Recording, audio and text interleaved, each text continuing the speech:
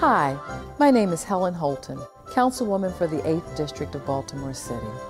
I want to take a moment to remind you of what a blessing it is to be alive today.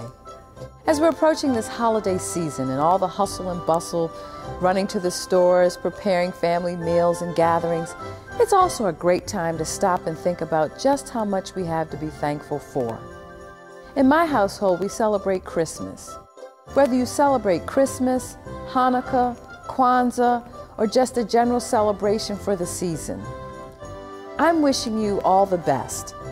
So from my house to your house, I wish you a very happy, safe, and prosperous holiday season and a blessed happy new year.